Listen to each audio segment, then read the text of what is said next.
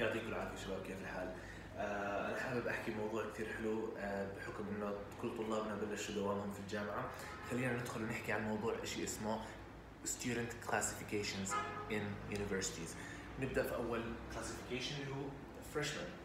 Freshman هو الشخص اللي إيش؟ اللي في أول سنة من مشواره في الجامعة. Sophomore sophomore السنة الثانية جامعة. Third year uh, senior is fourth year. يعني لما حد يجي يسألني أنا كطالب مثلا بكالوريوس واحد بيقول لي أنت بأي سنة؟ بحكي له أو أنت أي طالب؟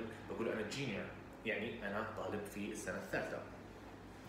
فالتقسيمات هاي بتوضح في أي سنة أنت بتوضح شو مدى خبرتك في التخصص اللي أنت فيه.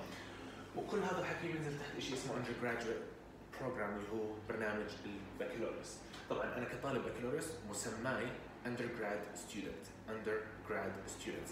يختلف الأمر مع موضوع الماجستير. بالنسبة للماجستير نيجي بنحكي إحنا uh, a graduate student مش undergraduate a graduate students graduate students هو طالب في إيش؟ الماجستير.